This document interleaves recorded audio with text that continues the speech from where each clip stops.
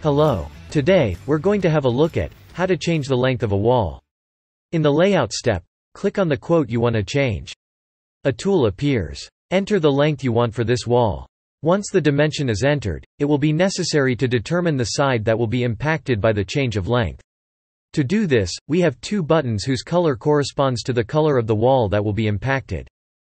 In this case, let's move the left wall. And for this one, the bottom wall. And there you go. Now, it's your turn. You can contact us if you have any question. The support team is always there to answer you.